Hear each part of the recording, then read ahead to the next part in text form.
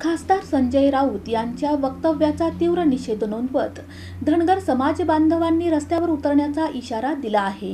शेळगी येथील धनगर समाज बांधवांनी खासदार संजय राऊत यांच्या वक्तव्याचा निषेध नोंदवत आंदोलन केलं.